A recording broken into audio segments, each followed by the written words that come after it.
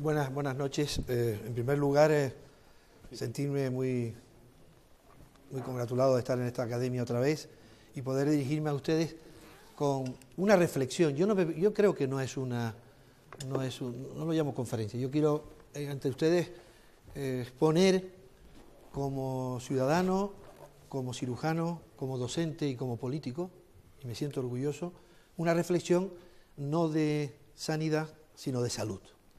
Y, si es provocativa, mejor, y si sacamos alguna conclusión, que creo que sí, mejor todavía.